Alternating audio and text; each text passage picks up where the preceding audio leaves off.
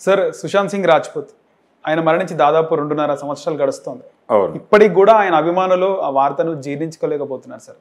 ఇంకా ఆయనకు న్యాయం జరగలేదని చెప్పేసి అది ఆత్మహత్య కాదు హత్య అని చెప్పి కొంతమంది సోషల్ మీడియా వేదికగా వాళ్ళు పోస్టులు పెట్టడం జరిగింది. అయితే రెండున్నర సంవత్సరాల తర్వాత ఆసుపత్రి ఇచ్చిన నివేదిక ప్రకారం అంటే ఆ పోస్ట్ మార్టం రిపోర్ట్ ప్రకారం అది ఆత్మహత్య కాదు హత్య అని చెప్పేసి ఆ తర్వాత హాస్పిటల్లో పనిచేసే రూపకుమార్ అనే వ్యక్తి అది ఆత్మహత్య కాదని చెప్పేసి ఆయన ఒంటిపైన దెబ్బలునే అని చెప్పి అనడం జరిగింది సార్. అసలు వివరాలు ఏంటి సార్? అంటే నివేదిక ప్రకారం హత్యే.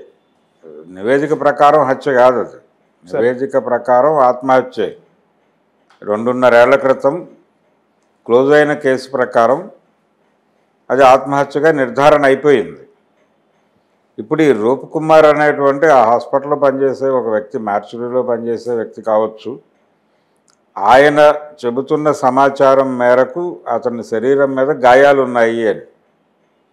కొట్టారు ఎవరో కొట్టారు. ఆ కొట్టడంలో చనిపోయి ఉండొచ్చు. దాన్ని హత్యగా చూపు చూపిస్తున్నారు.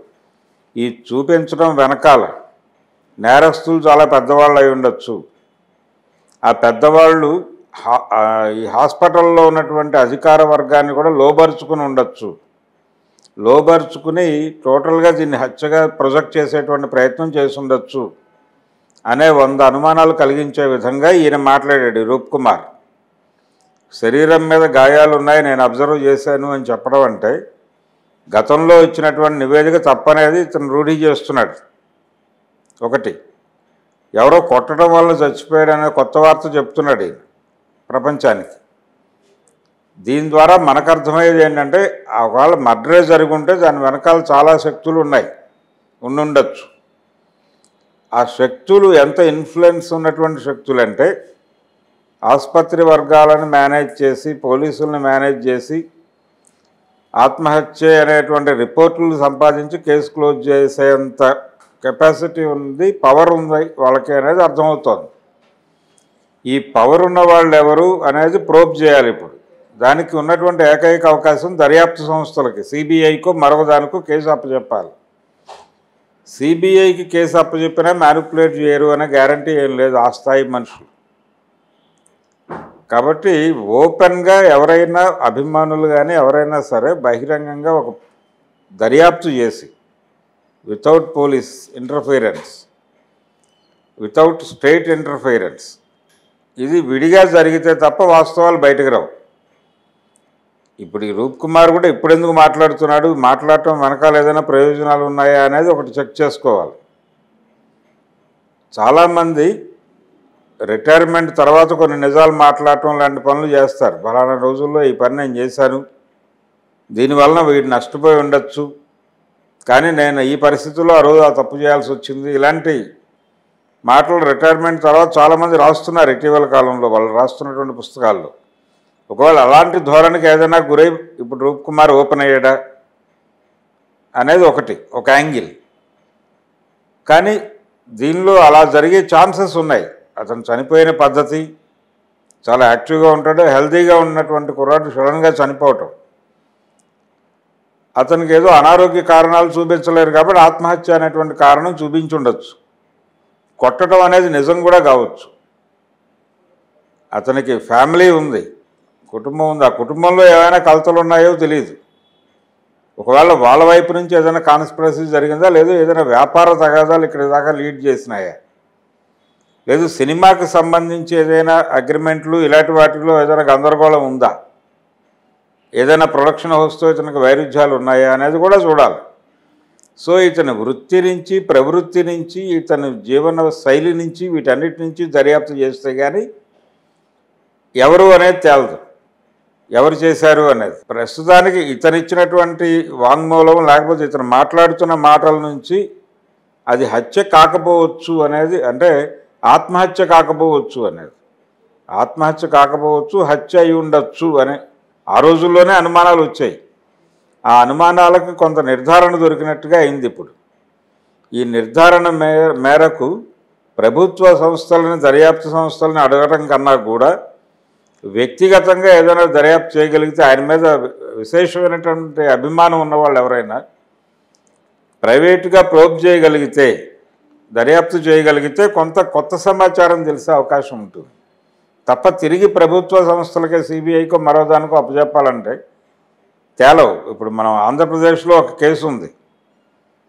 వైఎస్ వివేకానంద రెడ్డి హత్య అనే కేసు ఉంది. ఆ కేసు ఎటు తేలకుండా ఇప్పటిదాకా నడుస్తోందిగా? అవును సార్. విజయవంతంగా? మరికొంతకాలం నడుస్తుంది అది గ్యారంటీగా. కాబట్టి కేంద్ర ప్రభుత్వ దర్యాప్తు సంస్థలకు అప్పచెప్పేస్తే న్యాయం జరిగిపోతుంది అనే భ్రమలు లేవు పెట్టుకోనక్కర్లా ఇప్పుడు. మీరు సొంతంగా ఏమైనా సాక్ష్యాధారాలు సంపాదించి స్ట్రైట్ అవే కోర్టులో సమర్పించి ఏదైనా గొడవ చేయగలిగితే ప్రైవేట్ కేసుల ద్వారా కొంత కోర్టు ఇన్ఫ్లుయెన్స్ ఇంటర్ఫియరెన్స్ ద్వారా ఏదైనా మార్పు రావచ్చు.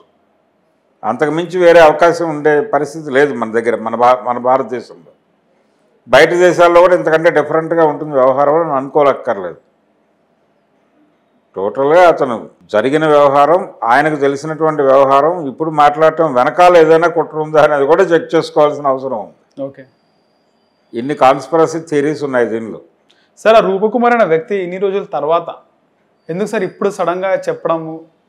టూ అండ్ హాఫ్ ఇయర్స్ తర్వాత అంటే లీక్ చేయడం వెనకాల ఏమన్నా? దీనిలో నేను ఇందాకే చెప్పారు ఆ విషయం. రకరకాల పద్ధతుల్లో మాట్లాడతారు. తాము పనిచేస్తున్న రోజుల నాటి ముచ్చట్లు తమకి ఆ వృత్తిలో ఉన్నప్పుడు మాట్లాడటం వలన ఇబ్బందులు వస్తాయేమో అని అవన్నీ మనసులో దాచిపెట్టుకుని ఉద్యోగ విరమణ చేసిన చేసిన తర్వాత లేదు ఒక సేఫ్ జోన్లోకి వెళ్ళిపోయిన తర్వాత అప్పుడైనా తమ అనుభవాలు ప్రపంచానికి చెప్పుకోవాలని ప్రయత్నం చేయడంలో భాగంగా ఇలాంటి విషయాలు బయటకు వస్తాయి. అట్లా బయటకు వచ్చిన గొడవ అది. అంతకుమించి అదేదో ఇంటెన్షనల్గా అతనికి ఏదో హామ్ చేయాలని మాట్లాడిన మాటలు కాదు. రెండోది అతనికి హామ్ చేసే కంటెంట్ కూడా ఏం లేదు దానిలో. మనం ప్రధానంగా ఆర్గ్యూ చేయాల్సింది ఏంటంటే ఎవరు చంపారు ఇవన్నీ ఓకే ప్రోబ్ చేయటం అనేది దర్యాప్తు సంస్థల మీద ఆధారపడకండి అనేది. దర్యాప్తు సంస్థల మీద ఆధారపడటం కాకుండా మీరు సొంతగా ఏదైనా చేయగలిగితే చేయండి. ఆ రకమైన క్యాడర్ ఉంది కాబట్టి ఒక ప్రయత్నం చేయటం తప్పేం కాదు. ఒక హీరో తాలూకు అభిమానులు కూడా ఉన్నారు దానిలో. అవును సార్ అవును సార్. కాబట్టి ఆ అభిమాన చైన్ని కదిలించడం ద్వారా ఇలాంటి విషయాల్ని ప్రోబ్ చేసి కొంత వాస్తవాలు బయట తీసుకొచ్చే ప్రయత్నం అయితే చేయొచ్చు. ఆ ప్రయత్నం చేయటమే అతనికి ఇచ్చే నివాళి అవుతుంది.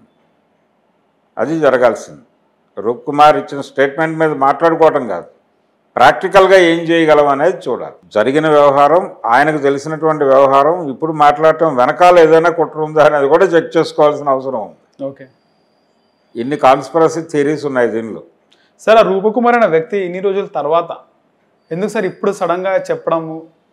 టూ అండ్ హాఫ్ ఇయర్స్ తర్వాత అంటే లీక్ చేయడం వెనకాల ఏమన్నా? దీనిలో నేను ఇందాకే చెప్పారు ఆ విషయం. రకరకాల పద్ధతుల్లో మాట్లాడతారు. తాము పనిచేస్తున్న రోజుల నాటి ముచ్చట్లు తమకి ఆ వృత్తిలో ఉన్నప్పుడు మాట్లాడటం వలన ఇబ్బందులు వస్తాయేమో అని అవన్నీ మనసులో దాచిపెట్టుకుని ఉద్యోగ విరమణ చేసిన చేసిన తర్వాత లేదు ఒక సేఫ్ జోన్లోకి వెళ్ళిపోయిన తర్వాత అప్పుడైనా తమ అనుభవాలు ప్రపంచానికి చెప్పుకోవాలని ప్రయత్నం చేయడంలో భాగంగా ఇలాంటి విషయాలు బయటకు వస్తాయి.